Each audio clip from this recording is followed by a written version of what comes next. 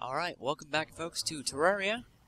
We are here in the Corruption to face the second boss that most people encounter, the Eater of Worlds. Uh, if you wander around it often enough in uh, the Corruption, you'll see all these little Eaters of Souls. Eventually you'll see, uh, they're called Devourers of Worlds, or Devourer of Souls, I'm not sure. It's a, a very large worm, like the ones I had before, the little tiny things that burrow through the ground. There are large ones. Then there's the Eater of Worlds. Uh, he can either be summoned by dropping into these chasms carefully and busting the uh, spheres at the bottom. The first one will do apparently nothing, uh, but may call down a meteorite. Second one, same thing. Uh, they may also summon up a goblin invasion, which, if that happens, God help you early on. Uh, the third one you bust, though, will always summon the Eater of Worlds. The alternate option, however, is killing uh, any of the creatures in here, the Eater of Souls, the Devourer of Souls, um, and collecting rotten chunks, then taking vile powder, and once you get a certain amount, I believe it's uh, 20 rotten chunks and a, quite a good amount of vile powder, take it to a demonic altar, and you craft worm food. Now, when you take the worm food, it's much like the suspicious-looking eye. Boom! Eater of Worlds has awoken. Now, this boss battle takes a very long time. As you can see, he is freaking massive. And you attack each in each body segment individually. So, if you I were to bust him, say, right there where I hit him, he would split at that point, a new head would be created just like Centipede, and uh, both worms would then start attacking you. So you have to defeat pretty much every single body segment individually to defeat the Eater of Worlds pain, but not insurmountable if you have something that passes through enemies, like shurikens or these unholy arrows or jester's arrows. Any of those work fairly well. Um, things like the Ball of Hurt also pass through body segments like this, and uh, work fairly well, but it doesn't do the best damage. So if you have the fiery one, I don't know why you'd be fighting uh, the Eater at this point if you have the, the Flaming Ball, but uh, that also works well. Mostly you just want to do as much damage as you can, until eventually he'll uh, break.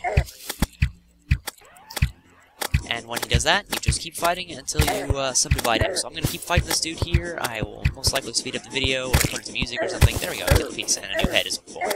Um, yeah, but I will continue fighting here and uh, catch up with you again when I've won.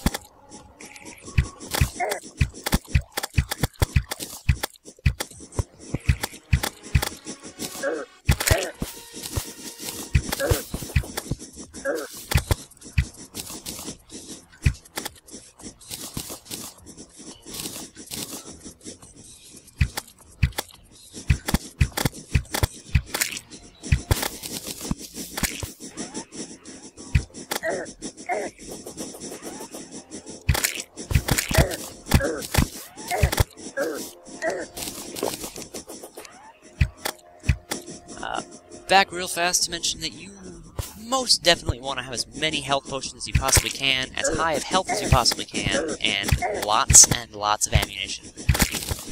This guy does not go down lightly, and if you miss and don't have enough ammunition, you are pretty much screwed, because he will follow you all across the map. The first time I ran into the Eater of Worlds was completely by accident. He killed me pretty much instantly, and then followed me back to my spawn point. So, he will not relent until you're dead. It doesn't matter if it daytime, if you leave the corruption, he will always follow you. So, make real damn sure that you uh, are prepared before you fight. That or prepared, be prepared to lose a lot of money dying every time.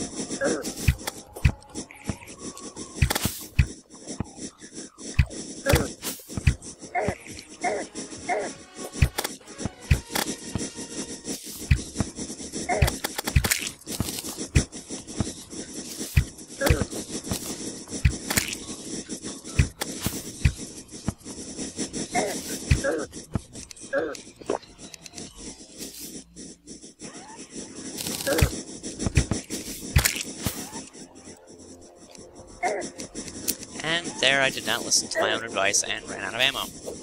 Wonderful.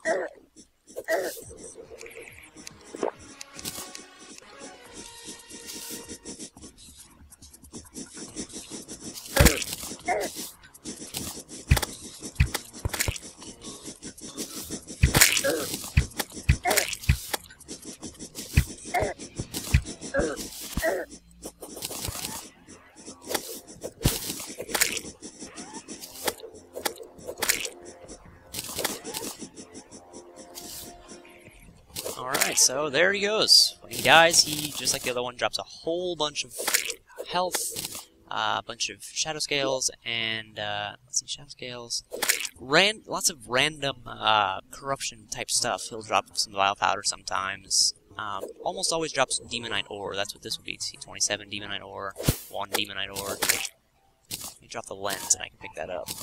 There we go. And he also always drops a single piece of the shadow armor.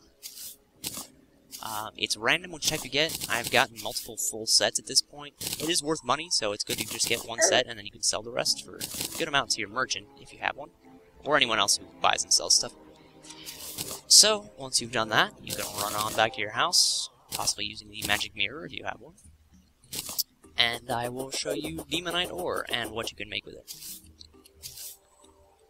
Go. Ah, I hate that yellow sky. It bugs my eyes. Alright, so, here with uh, the forge... Come on, move a little faster here.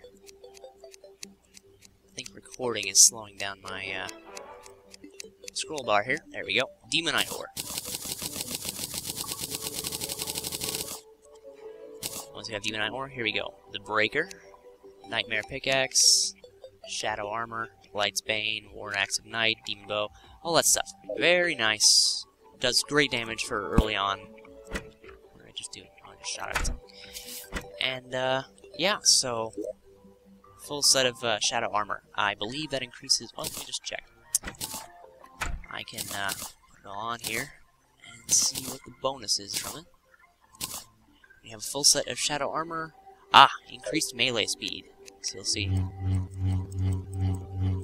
Yeah, that's you can just go to town on these guys. And uh, there's a weapon later in the game called the Muramasa, which is the fastest sword in the game. That, mixed with this armor, mixed with uh, an item later on that also increases your attack speed, you can pretty much just hold down the mouse button and never stop attacking ever. Pretty awesome. So, definitely, uh, definitely worth a few fights with the Eater of Worlds to get that armor. Alright, well, that was the Eater of Worlds. Tune next time for Skeletron, the final boss so far. See you guys next time. Thanks for watching.